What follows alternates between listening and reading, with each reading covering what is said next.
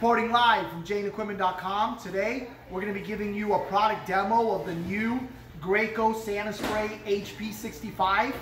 Um, this product was just announced about two weeks ago, and uh, we're one of the lucky shops to get our hands on the first shipments out of the factory. So I wanted to shoot a quick product demo so people know what to expect when they're spraying with their Graco HP65 and maybe clear up some questions that I'm getting. Uh, one of the first things uh, that I'm getting a lot of questions on are, well, what's the difference between this product and a GX19?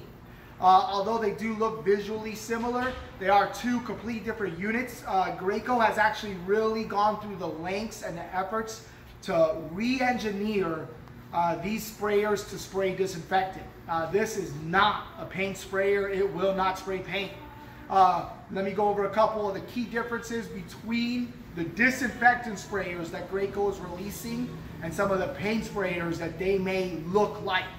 Um, number one, this pump has been re-engineered pretty much from the ground up. It's a different material on the pump. The metals being used are completely different.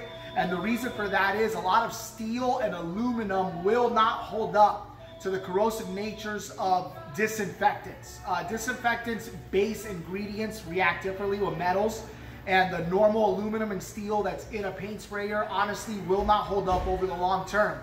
Graco has made these units to hold up to disinfectant. Um, not something that you're only gonna have to use once or twice, but an actual, you know, built to last tool for this exact application. So I do have to give Graco some credit. They really went above and beyond in this.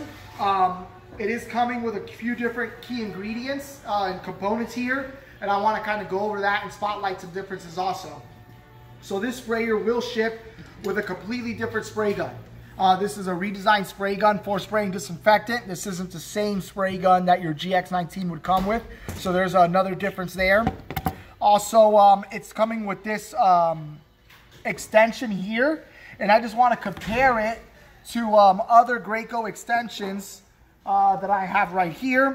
And just to show you, the metals are two different alloys. Once again, this is because the normal metals used for paint spraying are not going to hold up over the long term with disinfectant. So Graco is actually shipping this with this extension, which as you can see, has a different look to it because it is a different material being used. Um, once again, like I said, Graco really went through great lengths to re-engineer this. Another difference is our tip gasket. As you can see here, this tip gasket is 100% plastic. And if we compare it to our regular tip gaskets, you see it is much different. Um, I would say this is probably because this paint sprayer, another big difference, or this disinfectant sprayer rather, another big difference to this disinfectant sprayer is that it's only going to reach 1,000 PSI. This will never reach 3,000 PSI like a lot of paint sprayers do. Um, and because it was engineered for this purpose. Um, now that I've kind of gone over some differences, um, I do want to highlight that it is going to come with three spray tips and this extension out of the box. Um, no other units, as far as I know, are coming with this many accessories. This is going to come with a 619 low pressure tip, a 515 low pressure tip, and a 617 low pressure tip. Uh, so now we're going to get into the product demo. Just going to go ahead and screw my uh, tip guard on and put my safety on. Uh, and what we're spraying today is Bioesque disinfectant. Um, it is something that we're recommending here at JNequipment.com. Uh, we do carry it in store and online. And it is safe to spray uh, through most, if not all, the sprayers that we are selling at this point. So now that we're set up, let's go ahead and spray uh, some disinfectant. A couple things so you guys want to look out for, especially if you're interested in this product. Um, it's on demand, which means the pump is going to turn on when I pull the trigger. Uh, it only needs to build pressure when it requires, so you're going to hear it turning on and off. That is part of its normal operation. Luckily, it's not very loud. We do have it right here next to us. Um, during normal working, you'll probably have this 50 feet of hose unreeled and be further away from the machine. But I do want people to know, um, you know, the sounds it's going to make. And then we're going to use this piece of cardboard so we can see what kind of spray pattern we're going to get. So here we go.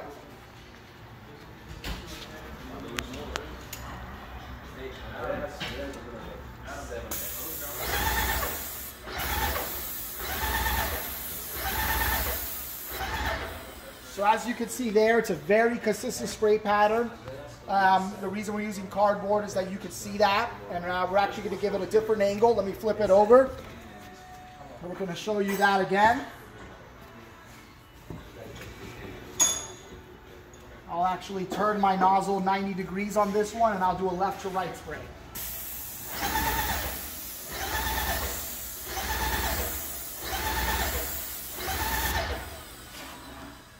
So one of the good parts about using uh, the Graco SaniSpray sprayers is actually the amount of volume of material it's putting down.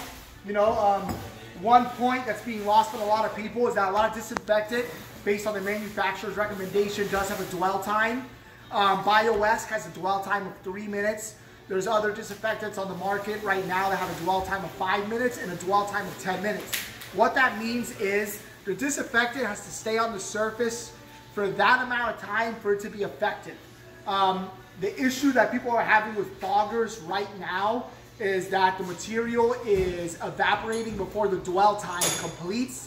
Um, the Graco SaniSpray, you're not gonna have that problem because it does put out a good amount of material at a time and you can actually control your material flow by using your different tips.